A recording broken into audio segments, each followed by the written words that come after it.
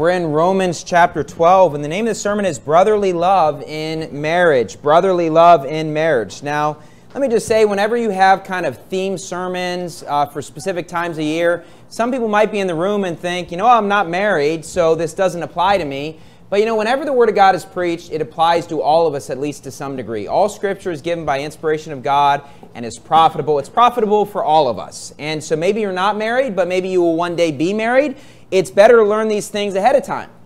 And you know what? If you are married, it's a good reminder, right? I mean, this is good information for all of us. And at the end of the day, we're using a lot of Bibles, so the, the Word of God is good for all of us, right?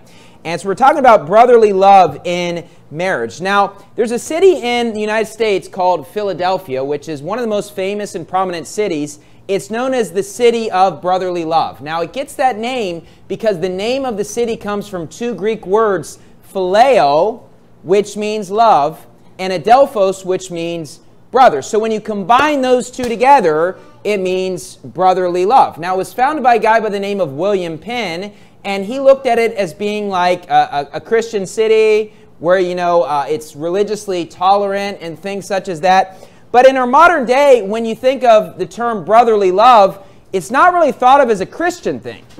But it's a biblical phrase. It appears three times in our Bible, and we're talking about brotherly love or I guess uh, sisterly love, which isn't really a word. What we're saying is Christian love, right? A love that you have for your brothers or sisters in Christ. Like I would say, I love all of my brothers and sisters in Christ. We ought to have this brotherly love for one another. And here's the thing in marriage, also, yes, there's the romantic aspect of love, but what we cannot forget is the brotherly love and sisterly love you ought to have for your spouse. Okay?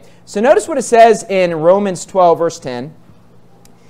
It says, Be kindly affection one to another with brotherly love and honor preferring one another. Now, I understand the direct context is not in the context of marriage, but you can absolutely apply it to marriage as well, having that brotherly love with your spouse. Now, we're going to look at three points here during the sermon, but before we get into those, I just want to show you how the significance in the Bible is about your, the person you're married to being your brother or sister in Christ above your romantic partner. Okay? Go to Song of Solomon, chapter 4. Song of Solomon, chapter 4.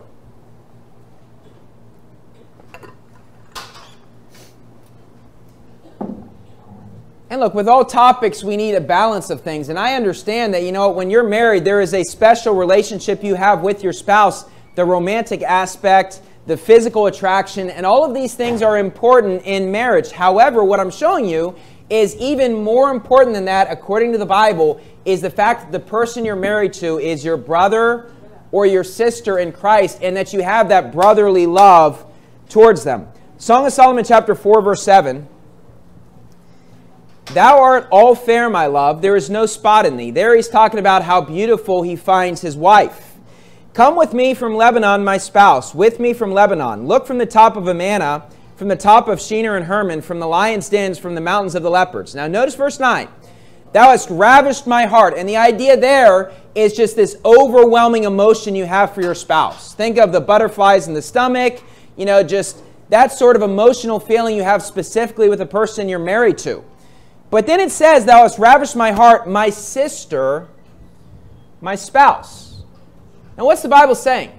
I don't believe Solomon was married to his physical, literal sister, genetically. What he's referring to is his sister in Christ.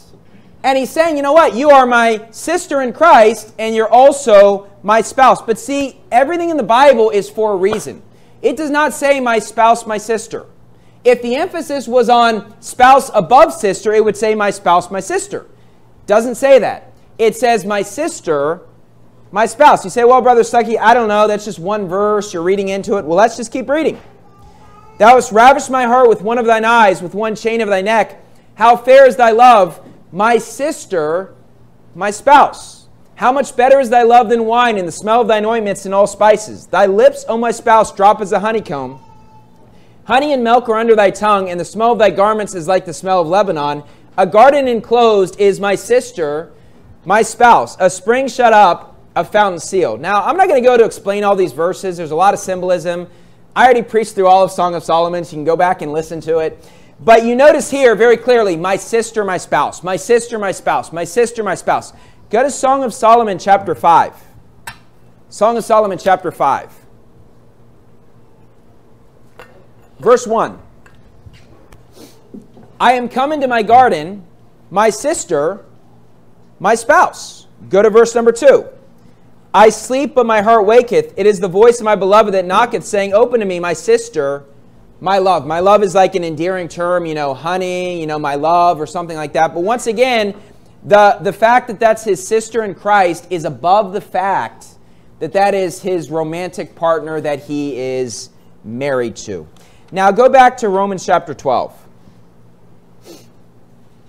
You say, Brother Stuckey, you know, why are you preaching this? Well, because, you know, here's the thing. A lot of times when you get married, you kind of look at your spouse as being your romantic partner, and that's true, but you kind of just separate the fact that they're also your brother or sister in Christ.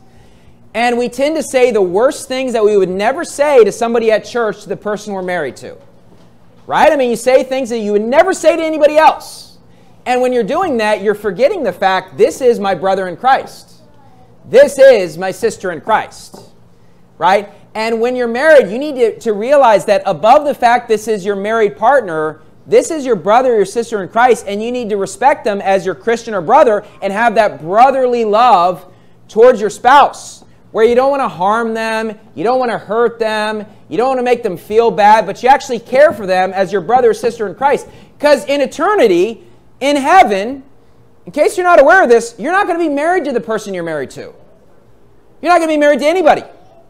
But you know what you're going to have? You're going to have your brother in Christ that you were married to here on earth, or your sister in Christ you were married to on earth. That is an eternal relationship of brother and sister in Christ.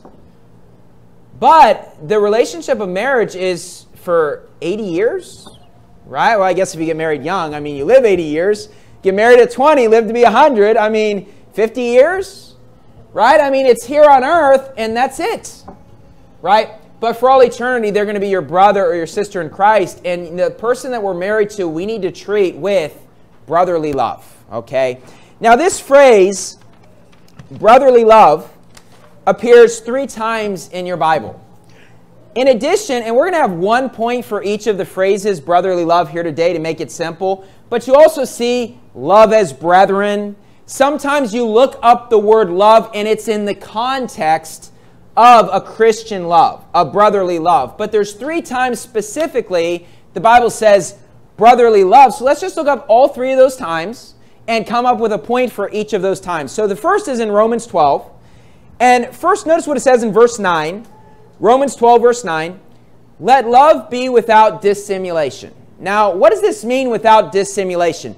I'll be honest, you know what? I, have been confused in this phrase before, and I've preached it kind of opposite of what this actually means. And to understand this, this word appears one other time in the Bible. Go to Galatians chapter 2. Galatians chapter 2. I've looked at this before as basically make sure your love is not fake, like a simulation or a simulator. That's not actually what it means, though. And by the dictionary definition of, of dissimulation, it means a concealment of one's thoughts or feelings or character or pretense. And when we look that up in the Bible, it actually fits. And I'll explain that here in a second. But notice what it says in Galatians 2, verse 11. But when Peter was come to Antioch, I withstood him to the face because he was to be blamed. For before that certain came from James, he did eat with the Gentiles. But when they were come, he withdrew and separated himself, fearing them which were of the circumcision. And what the Bible's saying here in Galatians chapter 2 is that before that he came from James, he's fellowshipping with the Gentiles. He's eating with the Gentiles. He's going soul winning with the Gentiles. Then all of a sudden, he's afraid of the circumcision, the Jews, and then at a church, it's like, well, here's the table for the Gentiles, here's the table for the Jews. And he's basically hiding his true feelings toward them that they're his brothers and sisters in Christ. And he's concealing that because he's afraid of the circumcision.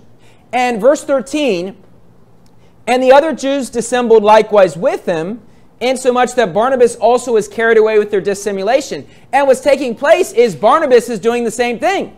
And he's hanging out with Peter hanging out with the Jews by ethnicity that also believe instead of hanging out with the Gentiles and fellowshipping with the Gentiles, and he's concealing how he really how he really feels because he's afraid of the circumcision. Go back to Romans 12. So, what does it mean by let love be without dissimulation? It means show your emotions.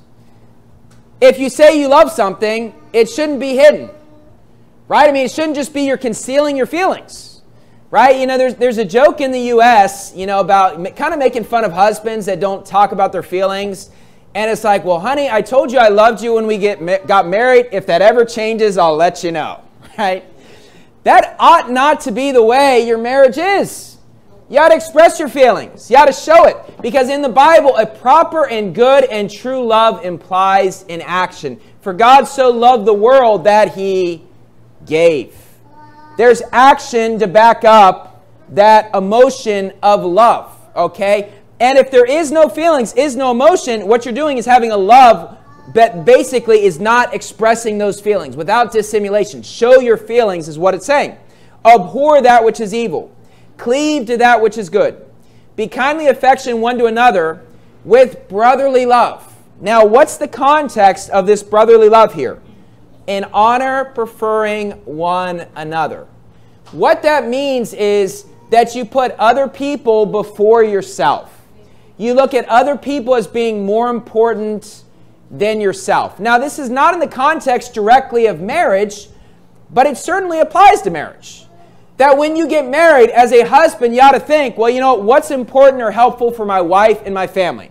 As a wife, it's not about me, what's important to my husband, right? We're basically, you don't get into marriage saying it's all about me, how does this benefit me? But you get into marriage with the idea, how can I be a help to the other person? Let me prefer them above myself. Go in your Bible to Matthew 20. Matthew 20.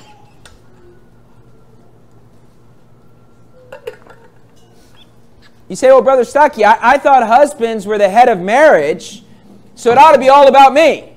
You don't understand what that means in the Bible, then, if that's your perspective. Because Jesus Christ was the head of the church. Jesus Christ, I mean, he's the king on earth. And yet, when he came, it wasn't all about him. Even though he's the ruler, even though he's the boss, even though he's the authority, he basically led in a way where he cared more about his followers than himself. In fact, by definition, this is called servant leadership. And here's the definition of this the servant leadership style is based on the idea that leaders prioritize serving the greater good. Leaders with this style serve their team and organization first. They don't prioritize their own objectives. Employees in a servant leadership environment are more likely to feel that their voices are heard. Now, look, the Bible teaches husbands are the heads of their homes. Know what? Everybody knows that's true, even though people like to dispute it. But let's just make it really simple. Think about parents and children, okay? Obviously, a father is above his children in authority, right? Obviously, a mom is above her children in authority, whether it's a boy or a girl, okay? But here's the thing as you're raising kids, You've got to make it about them. I mean, if they're sick and they need something and they need comfort and they need to get a shower, you say, Well, I don't feel like giving them a shower today. Well, it doesn't really matter what you want because they need that shower. You say, I don't really feel like feeding them and taking care of them, but what do they need? And yes, you're the authority. Yes, you're the leader, but you're concerned more about your kids than yourself. That's servant leadership. Well, the same thing in marriage as well, that as the husband, yes, you are the leader. Yes, you are the authority, but you ought to be concerned more about what's good for my wife and helpful for her than for me. Now, of course, the contrary is true also. As a wife, you ought to be more concerned about what's helpful for my husband, what's good for him, what's good for my kids, and not at all be about you. You say, why? Because having brotherly love and honor preferring one another. And what's interesting is oftentimes people will take this attitude with like church members and other people. They'll help out other people and be super generous, but then in marriage, it's like, no.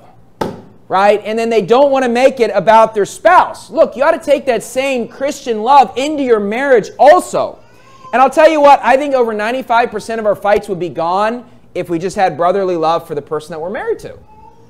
Now, look, don't misunderstand what I'm saying here today because Every married couple fights. Every single one. I'm not standing up here saying, you know what, I've never been in a fight since I've been married. It's just like, that's not reality. I'm trying to give you a balanced perspective on things. Every couple gets in arguments, every couple gets in fights. And, you know, the Bible says that without pride, there is no contention. That's not a direct quote, but basically, every fight, every argument, there is pride involved, at least from one side. In reality, in fights in marriage and fights in general, usually both sides have some pride. Both sides, right?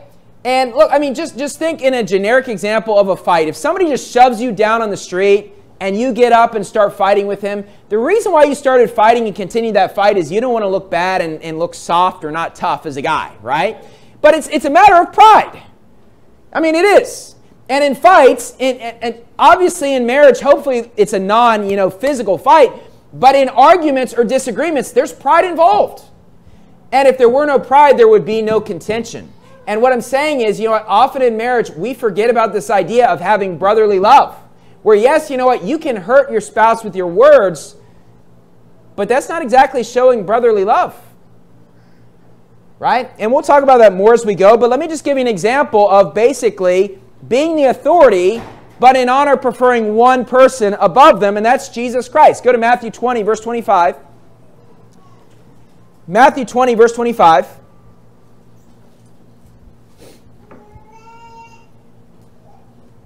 Matthew 20, verse 25. But Jesus called them unto him and said, Ye know that the princes of the Gentiles exercise dominion over them and they that are great exercise authority upon them. Now, what is that saying in verse number 25? Well, here's what it's saying that those in positions of power, such as a prince or authority, they will exercise their dominion and their power. And there's not necessarily anything wrong with that. Obviously, a boss at a company is going to give instructions to his employees, and they exercise their dominion. But this is what Jesus says in the context of Christianity but it shall not be so among you. But whosoever will be great among you, let him be your minister. He says, you know what? If you want to be great, if you want to get a lot of rewards, if you want to do something big for God, instead of thinking, how can I have authority? How can I minister to other people? How can I help other people? And whosoever will be chief among you, let him be your servant even as the Son of Man came not to be ministered unto, but to minister and to give his life a ransom for many. And look, obviously, Jesus Christ is the Almighty King. He's the Lord and Savior. But when he came here, that's not the way he lived his life. He lived his life by laying down his life for other people, ultimately by dying, but on a daily basis, in honor, he preferred us above himself. He looked at us as being more important than himself. And he gave us an example to follow that us that are followers of Jesus Christ, we ought to live our lives in a way where we're concerned more about other people than ourselves.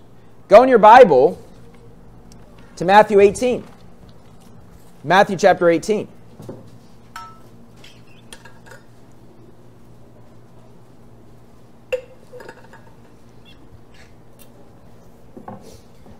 Look, this is not naturally the way we are as people, right? You know, probably, you know, over half the boys growing up in the, U- in the Philippines at around my age, they had a dream of, of the same dream I had of being Michael Jordan, right? Like Mike, being the most famous person where everybody sees you, they get your autograph, you're famous, everybody loves you. And you know what? People take that sort of mindset where they want to be powerful and they want to be famous. It's not really the mindset you ought to take in life, though. Your mindset should be, you know what, I'm not trying to become, you know, rich or powerful or famous. I, I want to figure out how can I help other people? How can I be a minister unto other people? And that is the way that Jesus lived his life. Now, when it comes to marriage and brotherly love in marriage, I want to look at the aspect of fights in marriage. Because this idea of brotherly love in marriage, we can look at brotherly love just with your fellow brothers and sisters in Christ. And how are we to deal with fights with one another? How are we to deal with disagreements? And the way we're meant to deal with disagreements just on a personal basis with fellow church members, that's the same mindset we ought to take in marriage dealing with problems and disagreements and fights. Matthew 18, verse 15. Moreover, if thy brother shall trespass against thee, go and tell him his fault between thee and him alone. If he shall hear thee, thou hast gained thy brother. And what the Bible's saying here is if somebody does you wrong at church or you're really angry with somebody at church, step one, talk to that person one on one. Talk to that person individually. Right? You say, well, why would I do that? Because you're trying to gain your brother. You want to restore that relationship. Right?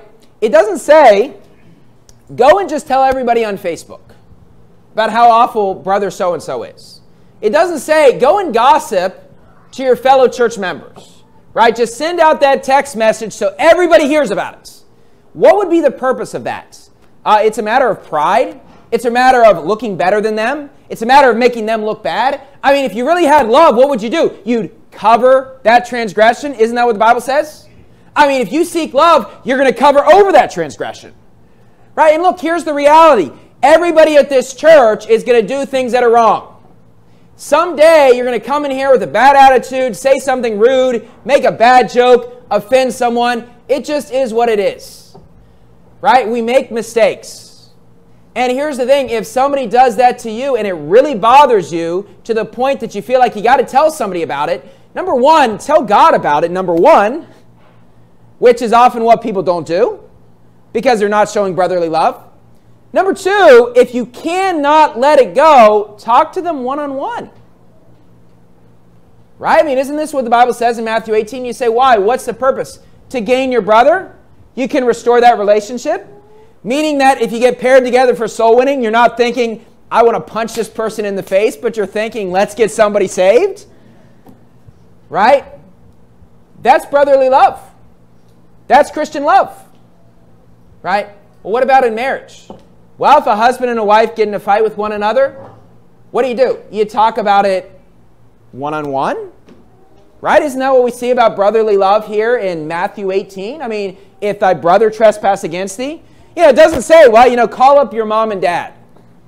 Mom, you won't believe what my husband did. Right? Dad, you won't believe what my wife did. Is that what it says? And yet, is that not the, the, the, the method a lot of people use? You know what you're doing when you do that? You're causing wounds that are going to take a long time to heal. And yeah, you know what? You're going to look better than your spouse because you bring out all the bad things about them. But let me help you out with something. Every single one of us, if you wrote down every single thing that they did and just told the world, we'd be like, that's horrible. I can't believe brother so and so did that. I can't believe sister so and so did that. I mean, one of the things that I'm very happy about is that when you get saved, you're not only eternally saved, but you know what? God is not going to broadcast all your sins one day. At the judgment seat of Christ, it's just good things that are going to be shown. You say, why? Because we've all done bad things. And look, if you're married to someone and you're around them 24 7, you can bring out all the dirt and make them look horrible and permanently destroy their reputation. And what would be your purpose?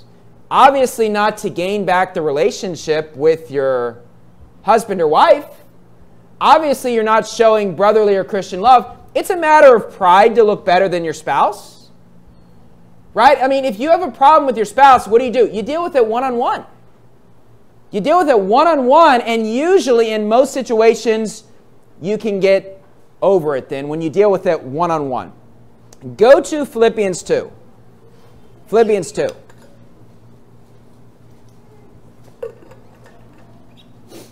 And look, one thing that you never want to do is fight in front of your kids, especially when they're young and growing up. Because, you know, and look, I, am sure that everybody in this room has made mistakes. It's not a criticism. As I said, my wife and I have fought before. It's not like every, every time we exhibited perfect 100% brotherly love in that situation. But one thing you do not want to do is fight in front of your children and cause problems in front of your children or try to make your, your spouse look bad to your children. What is the purpose there? To try to make yourself look like a better parent than your spouse in front of your kids? That's just going to cause problems. And the question is, when is it going to stop? I mean, if the husband does this to his wife and the wife's like, well, you did this, I'm going to do this, and the husband says, okay, you did this, right? I will be now more vile than thus, as, as King David said, and it just goes back and forth and back and forth. boy, that's really going to help restore your brother your sister in Christ. That's going to help gain back your brother. That's going to help fix the situation. That's called not having brotherly love in marriage. And look, what I'm saying is oftentimes in marriage, people forget about the fact that this is my brother or my sister in Christ. And I ought to treat them in a way with brotherly and Christian love. I mean, do unto others as you would have done unto you. Right? It's like we all make mistakes. I don't, I mean, and, and, here's the thing if I don't want my wife to broadcast every time I make a mistake and tell other people and make me look bad, then I shouldn't do that to my wife either. If you have love, you ought to cover that transgression. Put it aside. Don't let other people hear about it. And let me help you out with something. And I've seen this in a couple of examples, but look, if you criticize your spouse where everybody knows about it, it does not make you look good. It actually makes you look bad. I mean, if everybody's hearing all these horrible things about the person you're married to, it doesn't cause people to look good at you. They'll think that you're better than the person you're married to, usually, but they'll also think, well, why'd you marry that person? Right? And so, look, if we have love, what do we do? We cover that transgression. That is the brotherly love. That is the Christian love, right? Turn to Philippians 2. Philippians 2. And by the way, another aspect of brotherly love is forgiveness. I mean, in the context of Matthew 18, that's another thing you can think of. So, regardless of what your brother in Christ has done that you're married to, or your sister in Christ, forgive. You say, why? It's brotherly love, it's Christian love. And you know what? We oftentimes think of what other people do, but we, we, tend to just miss out on all the problems that we have or all the bad things that we do. Look, all of us need forgiveness. And the Bible says, you don't have to turn there, but at the end of Ephesians 4, the fact that as, as you know, Christ, for, for God's sake, hath forgiven us. Well, here's the thing we don't deserve forgiveness, and yet God forgives us, right? You say, well, my spouse, you don't understand. They don't deserve this forgiveness. Maybe they don't. Neither do you right? You know, we've done wrong, but see, brotherly love is forgiveness. Brotherly love is working out one on one and fixing the situation. That is brotherly love. And we ought to take brotherly love into our marriages, and it will fix a lot of problems. Philippians 2, verse 3 Let nothing be done through strife or vainglory. What is vainglory? Uh, telling everybody how bad your spouse is. It makes you look better. It's vainglory. Wow, look at how good you are in front of other people. Is that what God wants you to do? But in lowliness of mind, remember we're talking about point one lowliness, making yourself lower, where basically you consider your spouse to be more important. In lowliness of mind, let each esteem other better than themselves.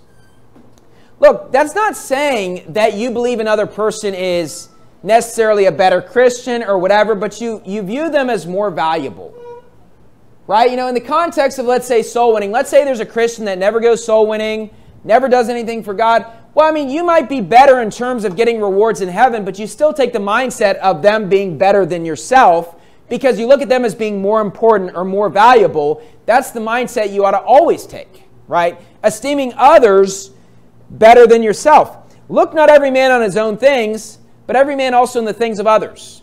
You say, Brother Stuckey, why would I want to do that? Well, notice what it says in verse 5 let this mind be in you, which was also in Christ Jesus. And if you continue with the passage, which I'm not going to for sake of time, it talks about him becoming obedient unto death, even the death of the cross. And the Bible speaks about Jesus humbling himself. And then as a result, God hath highly exalted him, right? Why did he do this? Well, he didn't die for himself, right? He's sinless. He died because he esteemed us as being better than him. Let this mind be in you, which was also in Christ Jesus. The same mindset where basically you esteem others as being more important than yourself. Turn to Hebrews 13. Hebrews 13.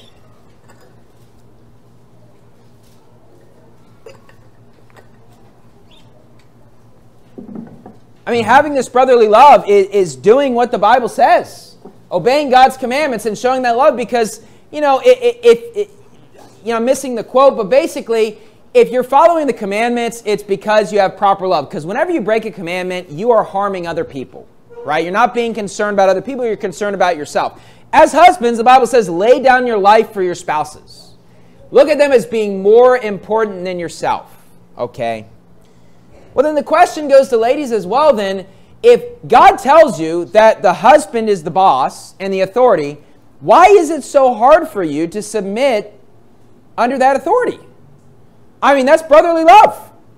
That's obeying what God says. Right? Now, look, it's hard for guys to lay down their lives. That's hard, but also for the ladies. I'm preaching against both sides, right? Men and women, we can all have better brotherly love in marriage. Right? You know, the husband is the head of marriage, and that's what the Bible says. And look, if you have the proper brotherly love for your spouse, which I hope you did when you got married to them, because they were saved and they love God like you do, I hope you should be able to submit to them and say, hey, you know what? I want to do what God says. Not like, well, I'll obey because God forces me. Well, that's a lot of brotherly love. Why is it so hard? I mean, you ought to say, I love God's commandments. I love thy laws, the Bible says, and I'm willing to do what God says. And I'm going to be happy. That's what the Bible says. And, and here's the thing husbands ought to have lowliness to esteem their wives better than themselves. So should wives. And in an authority structure, the wives are underneath the authority of the husbands. That is what the Bible teaches. Go to Hebrews 13. Brother Stuckey, can't we have like a Valentine's Day sermon that's really sweet and caring? You know, when I went to CCF, you know, I never felt bad or whatever. It's just like, well, welcome to Verity or Truth Baptist Church. Because everything I've said is without dispute, in my opinion. It's just hard to actually do. As I said, I'm not standing up here stating I'm 100% perfect at this. Things are much easier to preach than to do. Right? The spirit is willing, but the flesh is weak. Everybody knows this is true, but it's hard to actually take that into your marriage because it's difficult. Because pride is something we struggle with. And we don't want to prefer others above ourselves. We care about ourselves naturally. That is not the sort of mindset you need in marriage, though. Point one lowliness. Hebrews 13, verse 1 let brotherly love continue. Point one is lowliness, putting other people above yourself. Point two is limitless. There should be no end to this brotherly love. As I said, this phrase appears three times in our King James Bible, brotherly love. And here, let brotherly love continue, as simple as it shouldn't end. Right? Now turn your Bible to Song of Solomon 5. Song of Solomon 5.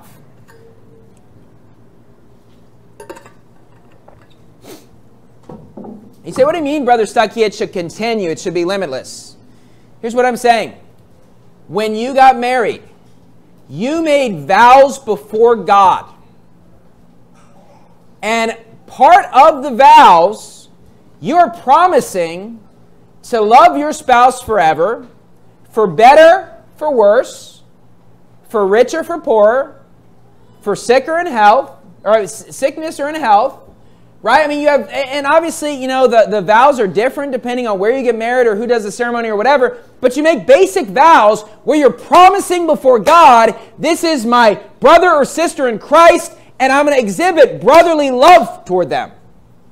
You made that promise when you got married, and I believe you meant it when you got married. Let it continue. Let it be limitless. It shouldn't end. It's like, well, you know, I, we said I do, and you just mindlessly say those vows without thinking about them. Maybe you ought to realize what you said. Because you made a promise and a vow which is not meant to be broken.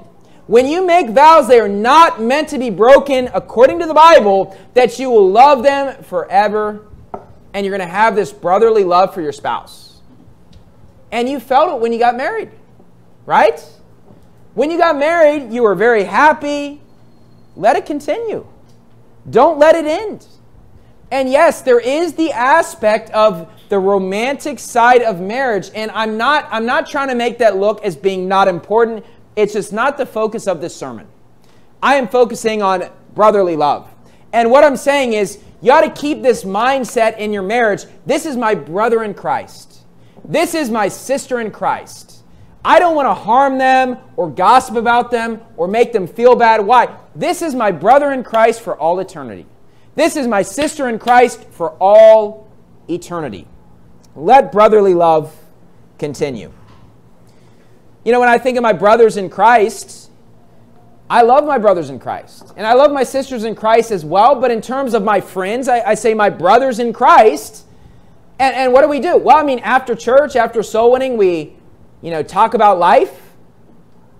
We talk about things that are important. We do prayer together. We fellowship together. We enjoy spending time together. I mean, this is your church family. And it's your church family because it's your brothers and your sisters in the Lord. Right? Well, if you have that sort of brotherly love for your friends at church, you got to have that brotherly love in marriage as well. Song of Solomon 5, verse 16. His mouth is most sweet, yea, is altogether lovely. This is my beloved. And notice this. And this is my friend, O daughters of Jerusalem. Look, obviously, you know what? When you get married, men and women are very different from one another. Right? Men don't fully understand women, women don't fully understand men. It is what it is. And in general, probably some of your interests are, are very different. Right? You know, the things that you did, you know, before you got married, I mean, you had different interests right? And, and, you know, obviously it's great to be able to do certain things together if you have those similarities, but I'm just saying there are certain interests you have that your spouse is just not going to have, right? Before I was married in college, me and my friends, we always just went to the gym for a couple hours. It's, it's just not the same exact thing that I'm going to do with my wife. Right? And it, you know what? It's just different. And here's the thing when you get married, you shouldn't take this mindset, well, I'm going to keep all of my interests and not do anything with my spouse and just all day long do whatever, and then we're just going to lie down in bed together and that's it. No, actually, you should find some things you can do together.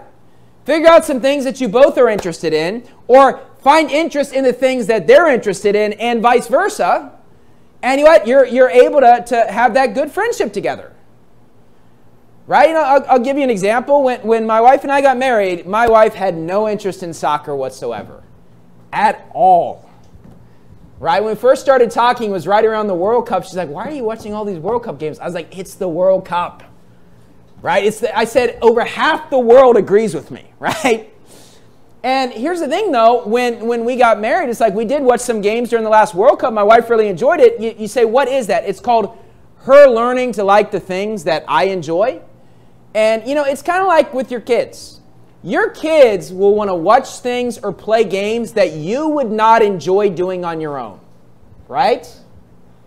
But if you have a proper love for them, you find enjoyment with your kids. Why? Because it makes them happy. And you can actually learn to like those things also. The same thing is in marriage as well. Learn to enjoy the things that your wife likes. Learn to enjoy the things that your husband likes. And you say, well, it's not my interest. Yeah, but you know what? You can find happiness in the fact that your spouse is happy. Right? You know, learn to compromise and find things where you say, hey, this is my friend. We fellowship. We talk together. There's things that you have in common. And maybe you're not married with all those similarities, but you can learn to like those things about your spouse if you put in effort. Turn in your Bible to Judges 14. Judges 14.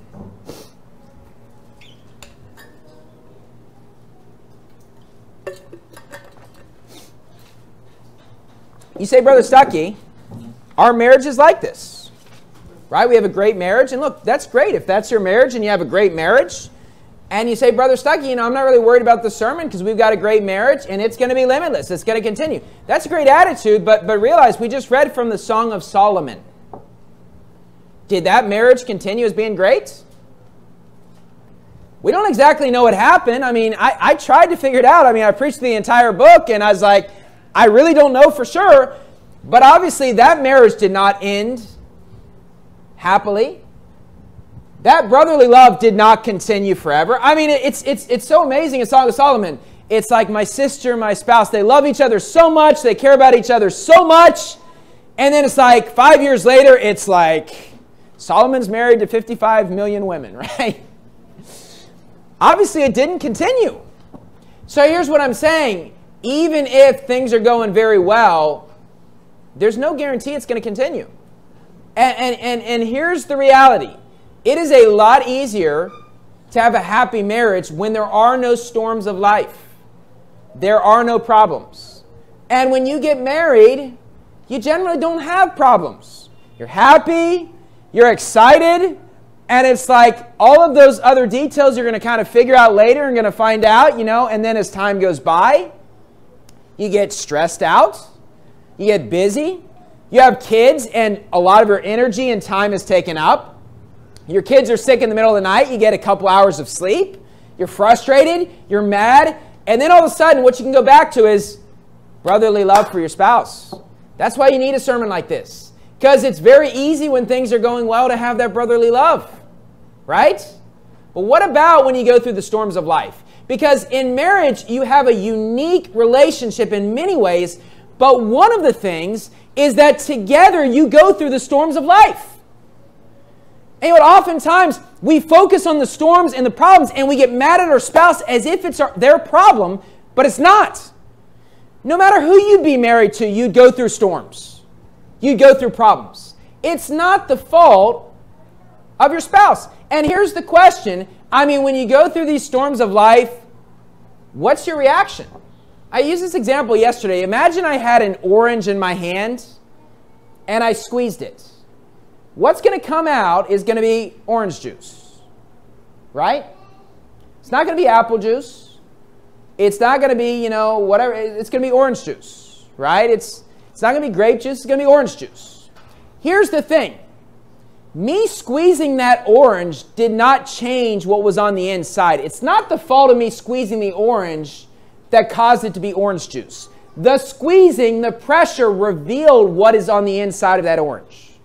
What I'm saying is that when you go through storms of life and what comes out is, I hate you, I should have never married you, this is the worst life in the world, it's not your spouse's fault or the storms of life. It's just revealing what's on the inside of you. The ugliness is coming out, not exactly brotherly love. And here's the thing you, you can't avoid the storms of life or the problems. Face it, when you have kids, your kids are going to knock over juice and completely just cause a huge mess. It's going to take place. Your kids are going to eat a bowl of rice and half the rice is going to be on the floor. Getting mad at them is, is foolish. They're a child. It's going to take place.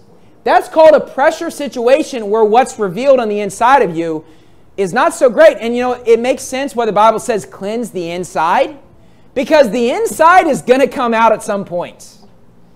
And it's going to reveal what you really are spiritually. The question is, what's on the inside of you? You cannot avoid those pressure situations or those storms of life. They're going to come and they're going to reveal what is on the inside of you. Uh, Judges 14, verse 20, the Bible reads, But, and we're going to talk actually about Samson in the next sermon, but Judges 14, verse 20, let me just show you this verse.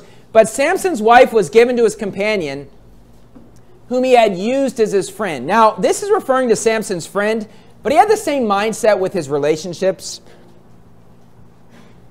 And look, in marriage, don't just use your spouse as your friend. Well, you know what? I'll hang out with them when I want to, but if I don't want to, I'm just going to avoid them. It's all about me, right? The, the concept of a friend is that you help out other people when they're in need, and they also do the same to you. He that hath friends must show himself friendly, right? Where basically your friend calls you up and says, Hey, I really need help. Can you help me out?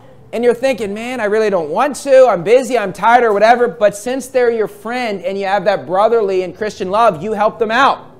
And they do the same for you. Don't just use your spouse as your friend because what's eventually going to take place is they're not going to want to be your friend. They're like, you only care about me when you want it. And now when I need something, you're just like, eh, I don't want to have anything to do with you. Right? Don't just use your spouse as your friend. Go to Galatians 6. Galatians 6. Galatians chapter 6. The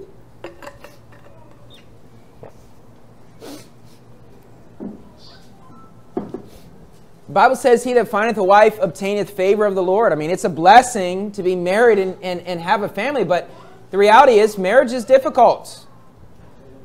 I, I never tell people that, hey, you know what, marriage is easy, you're never going to have any problems. It's just like the Hollywood movies, everything is perfect. No, it's not just like the Hollywood movies. Right? Marriage has problems, marriage has difficulties. And unfortunately, sometimes we allow those difficulties to cause us to forget the fact how we felt when we actually got married. Here's the thing feelings come and go, but your brotherly love for your spouse should always be there. Right? I mean, you, you have these emotions where you're really happy. I mean, because this is the way it is in marriage. Your emotions go all over the place. As a guy, and I'm sure as a, as a woman as well, where basically you feel very strongly, then you get into an argument, you're like, and you're mad, right? Yeah, your feelings come and go. That's just the way life is. Sometimes you're angry, sometimes you're you're sad, sometimes you're happy, sometimes you're patient. I mean, your feelings are all over the place all the time. But your brotherly love should always continue. Why? Because that relationship of your brother or sister in Christ, it will continue. And your brotherly love for your spouse ought to continue as well. Galatians 6, verse 9. And let us not be weary in well doing. Weary means tired. Let us not grow tired when doing well, for in due season we shall reap if we faint not. Now, the context here is reaping rewards in heaven for basically the good that you do. But you can look at this in the context of marriage as well. And it says in verse 10 As we have therefore opportunity, let us do good unto all men, especially unto them who are of the household of faith. So, even above the fact that you're getting people saved, is that you're doing well to your brothers and sisters in Christ. And here's the thing you're married to someone who I hope is your brother or your sister in Christ. And yes, the context is reaping rewards in heaven, but you know, another application is grow not weary in well doing toward your spouse because in due season you're going to reap the benefits of a better marriage. Right? I mean, if a husband is up here in his mindset of how much he's doing for his wife and he says his wife is here, the wrong attitude is, well, I'm not going to do anything nice for my wife until she's equal to my level. The right attitude is, if I put in more love and attention, then my wife will also. Instead of worrying about who is putting in more effort into this marriage, well, you should both be trying your best, and of course, you're going to be failing.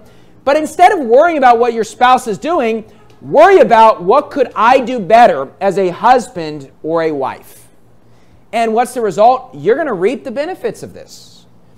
Go to 1 Thessalonians 4. 1 Thessalonians chapter 4.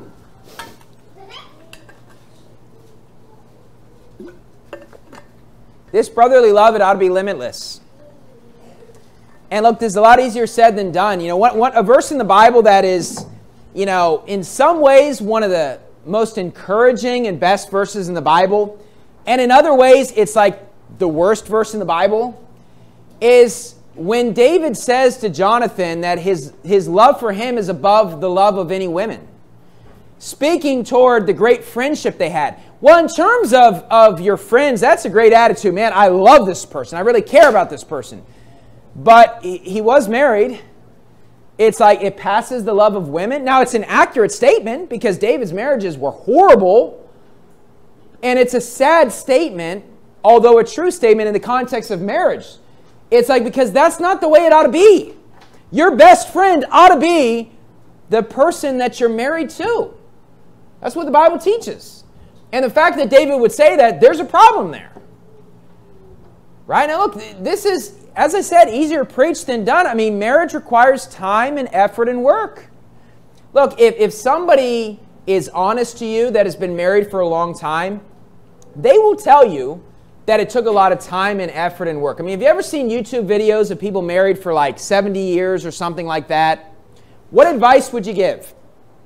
And they'll say that, you know what? It takes a lot of work and effort if you want a good marriage. People that have a good marriage will say it takes effort.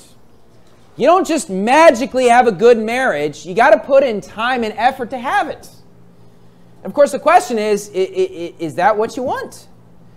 It ought to be because that's kind of the promise you make before God when you get married that you're going to pour that love into your spouse. It takes time, it takes effort. Point one lowliness. esteeming your spouse being better than you or more important. Point two, limitless. It should not end. Point three, largening. Notice what it says in verse 9.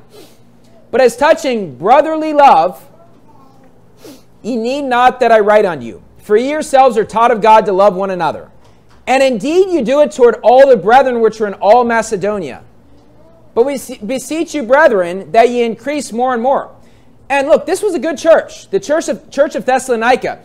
Anyway, what Paul says is, you know what? We hear of your love toward the brethren, this brotherly love, and that's great.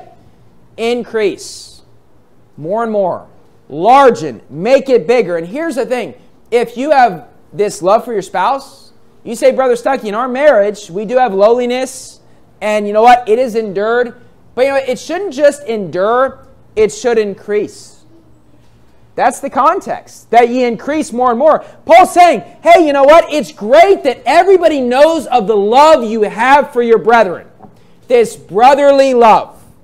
It ought to increase, it ought to get bigger. And the goal is that when you get married, as time goes by, you have more brotherly love for your spouse. Unfortunately, oftentimes that's not the case in marriage. Oftentimes, you get married and you allow the storms of life and problems to cause you to get angry at your spouse and blame your spouse and hate your spouse and not forgive your spouse. That is not the way that God intended it. And, you know, for sake of time, you know, we're, we're pretty much already done. I'm not going to go to this last passage. But look, here's what the Bible teaches about brotherly love in marriage. Number one, there ought to be lowliness. Brotherly love, being humble, looking at your spouse as being more important than yourself. This is a vow you make before God. All of these are that you're going to do this. This is just a reminder to you from when you got married. Because sometimes in life we just need to be reminded of the things we already know. Put away your bitterness, put away your pride, put away your envy, put away your anger, put away these things. Part of brotherly love is forgiveness regardless of what has happened. Forgive. You say, why? Brotherly love. Right? I mean, one of the, if you were to ask random people about Christian love, one of the big things people would say is forgiveness, right? Forgive your spouse for the things that have been done that are wrong. You got to have lowliness. It ought to be limitless. It should never end. And it ought to be largening. As time goes by, you ought to love your spouse more and show more brotherly love than the day you got married. Let's close in order of prayer. Dear Heavenly Father, thank you for allowing us to be here today and I ask you to help all of us in this room, all of the married couples, and also all the people that will one day be looking for a spouse to find someone who's saved and loves you, God. Help us to understand this concept of brotherly love. Help me and my wife as well, God, to understand this concept and, and help us to exhibit this. Help us to put aside our pride and envy and bitterness and all of our problems. Help us to have 100% complete forgiveness where we don't bring up the past, but just forgive one another, God. Help the, the families in this room to have strong families, strong marriages, God. And, you know, help all of us. We're all sinners. We're trying our best. Help us to improve. Help this love increase more and more, God. We pray this in Jesus' name.